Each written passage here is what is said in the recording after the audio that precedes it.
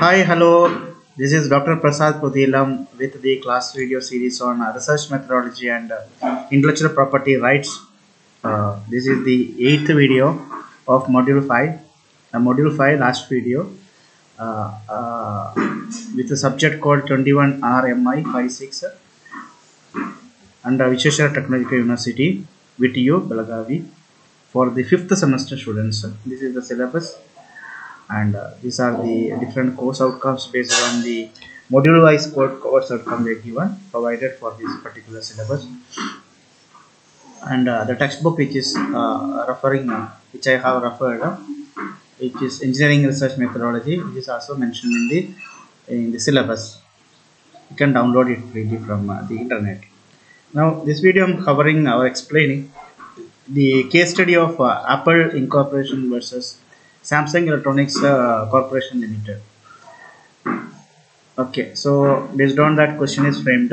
How did the Apple uh, Incorporation versus Samsung Electronics Corporation Limited case impact the landscape of intellectual property, considering the uh, key allegations uh, and uh, legal proceedings and subsequent uh, statement uh, uh, analyze the significance of this case in uh, uh, shaping the dynamics of design patents, utility patents, and issue related to trade, uh, just and unfair competitions. Okay, so this is the points uh, which I made uh, for to explain this in detail uh, uh, for this case study. Okay, so the introduction, the Apple Incorporation, Apple we already know that mean production of the iPhone, iPad, etc as well as the Samsung, Samsung Electronics, normal Android phone uh, developer, one of the main uh, Samsung Electronics is very famous. So the case is landmark uh, uh between the legal battle in the technology industry uh, involving the allegations of uh, patent infringement and design copy. So the case it was filed in 2011.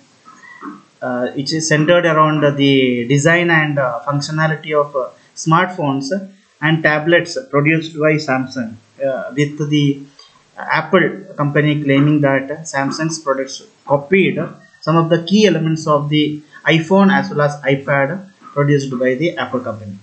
Because that is the introduction to this case study.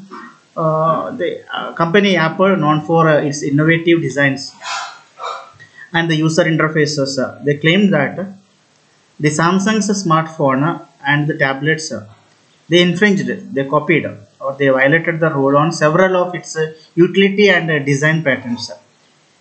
So the company, uh, Apple company, they argued that Samsung's products, particularly the Galaxy series, they copied the distinctive look and feel of the iPhone and iPad, uh, including features like the the, the rounded corners, or grid of icons, and uh, the pinch to zoom gestures these were uh, they claim that they copied the galaxy series.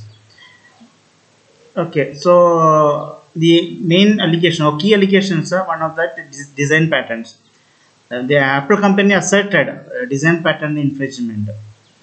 Uh, they claimed that uh, certain design elements of their products were without the agreement or without considering the law copied by the samsung company so the design patent included elements such as the rounded corners, the bezel or the icon grid on the home screen. So utility patents, uh, the uh, Apple company they also claimed that infringement or the violation happened of utility patterns uh, focusing on the specific features and uh, the functionalities uh, such as the pinch to zoom gesture and the bounce back scrolling these uh, items also copied by uh, uh, Samsung company without getting the permission. Okay, now trade dress and unfair competitions. Uh, Cap company, Apple company, they argued that uh, Samsung uh, products they imitated, copied the overall visual appearances or the trade dress of Apple's devices, creating confusion among the con uh, consumers. So that is the allegation, one another allegation. So the initial verdict in uh, 2012, the jury found that uh, Samsung is liable for patent infringement and uh, they awarded Apple over uh, over uh, one billion dollars in damage. It's a roughly calculated amount, not the exact amount, roughly calculated uh, amount based on the news available. So the jury also ruled in favor of uh, Apple on uh, several counts, uh, including both design and utility patent infringement. So a huge penalty was uh, given for uh, on uh, Samsung uh, company for uh, copying the Apple phones uh, uh, patents for the designs. Okay, so the subsequent appeal and uh, the uh, trials resulted in adjustments to the damaged uh, damages happened to the uh, Apple Apple company. The United States Court of Appeals for the Federal Circuit they upheld some damages but ordered a retrial to reassess the amount of damages for certain products. Then Supreme Court decision uh, uh, in uh, 2016. Uh, the Supreme Court they calculated on uh, they got the calculation of how much damage has been happened, and the Supreme Court uh, unanimously ruled that damages for design patent infringement could be based on the uh, entire product's profits, not just the components that were found to be infringing. Okay, then final settlement was happened in 2018.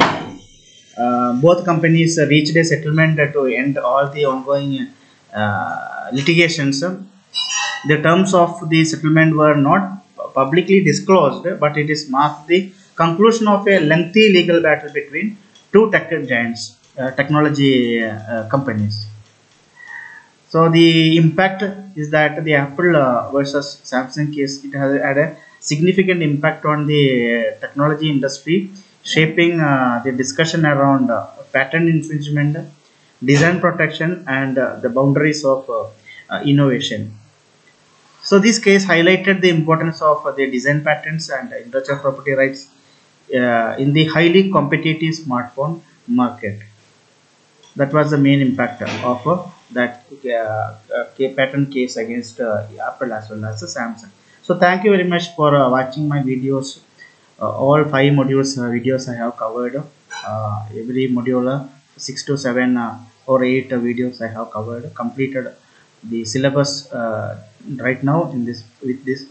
So please do subscribe to my YouTube channel if you are getting help from these videos, getting knowledge from this video please do subscribe please do share to your friends your uh, colleagues or your student friends uh, so that uh, they will get benefited i also will get benefited you know how i get benefited with based on the subscription as well as the view hours okay so once again i would like to introduce my youtube channel my intuition 4865 my class videos should be available only in the, this youtube channel my intuition 4865 if anybody is uh, downloading my video and publishing in there please do case the file patent case okay.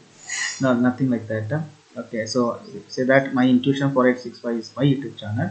Please do subscribe to this youtube channel and and support me. So once again thank you one and all and have a nice day